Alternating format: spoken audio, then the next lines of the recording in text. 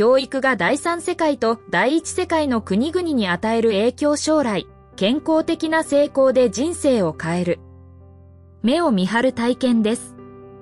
視点が変わります。彼らが直面している問題を見ると大変です。第三世界の国々での生活は大変です。そこに行くと目を見張る体験になりますが、帰国すると全てが評価されていないことに気づきます。ビデオをゆっくり視聴したい場合は、必ずビデオの速度設定を遅くしてください。発展途上国。世界中には都市に学校がない国がたくさんあります。多くの子供たちが教育を受けていません。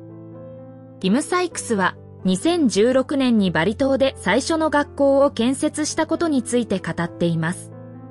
彼は学校の建設には通貨換算とコストに応じて3万から5万ルピーかかる可能性があると説明しています。そのようなコストのために私たちはみんな海外でこのような重要な施設を作るよう努めるべきです。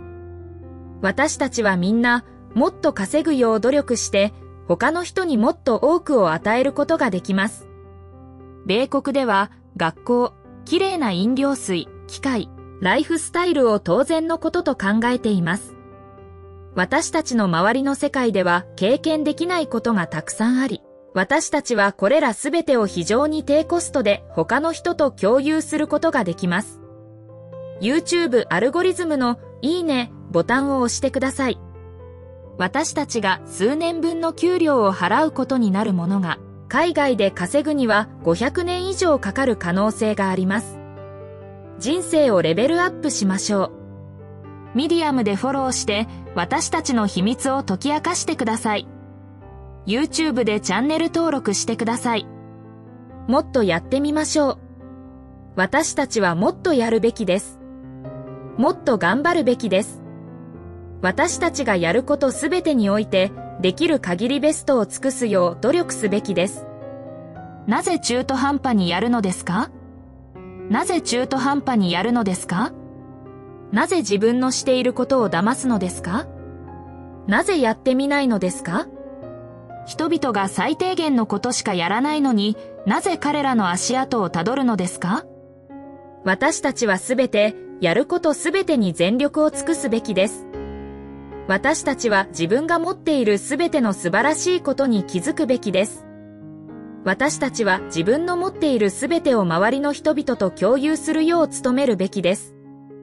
YouTube アルゴリズムのいいねボタンを押してください。さらに重要なのは私たちが持っているものすべてを自分たちでは想像もできないような世界中の地域の人々と共有すべきだということです。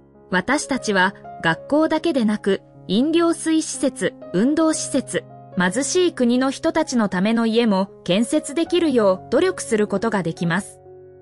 機会と経験はかけがえのないものです。